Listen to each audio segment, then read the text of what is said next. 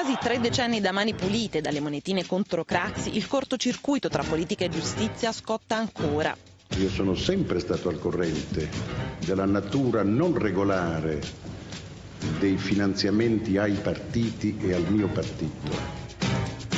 Ieri la chiamata in correità del leader socialista, oggi l'atto d'accusa di Renzi, in mezzo prima, seconda e terza repubblica. La richiamo all'ordine! Tra cappi in Parlamento, governi caduti per via giudiziaria e leggi ad personam. Si tratta di porre fine a un lungo periodo di supplenza della politica e del ruolo delle istituzioni elettive da parte dei magistrati dell'accusa. In principio i magistrati erano visti come eroi moralizzatori. Berlusconi prima li sostiene, poi passa dall'altra parte della barricata.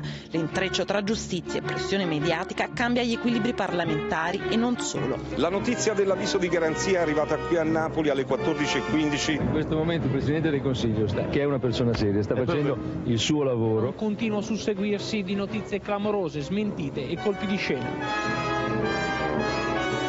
Il primo governo Berlusconi cade un mese dopo la clamorosa notifica di invito a comparire consegnatagli durante la conferenza internazionale sulla criminalità. Presidente, quando le pensioni? Un'inchiesta giudiziaria faziosa e pergiudiziale condotta con abuso di regole inquisitoriali. Quasi 15 anni dopo, stesso copione. Non stiamo mica all'osteria! Romano Prodi supera indenni i voti contrari dei vari Rossi e Turigliatto, ma deve arrendersi alla sfiducia di Mastella, indagato in un'inchiesta poi archiviata.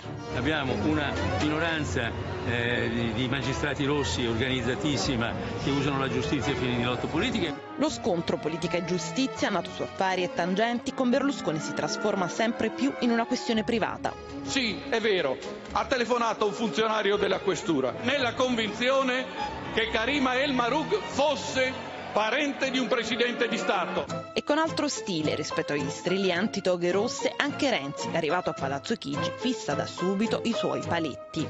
Possiamo dire che si fa carriera per merito e non per l'appartenenza di corrente? La contrapposizione tra chi le leggi le fa e chi le applica riesplode anche con il governo del cambiamento. Questo organo dello Stato è stato eletto da voi. Altri non sono eletti da nessuno e non rispondono a nessuno. Il caso di Ciotti è la rogna più grande per il Movimento 5 Stelle, persino lo slogan onestà, onestà gli si ritorce contro. Il punto di massimo scontro tra giallo-verdi e magistratura si consuma nel nome del primato della politica sulla giustizia. E oggi nuovo governo, nuovi attori, stessa musica. Io difendo l'autonomia e l'indipendenza della politica dalla magistratura.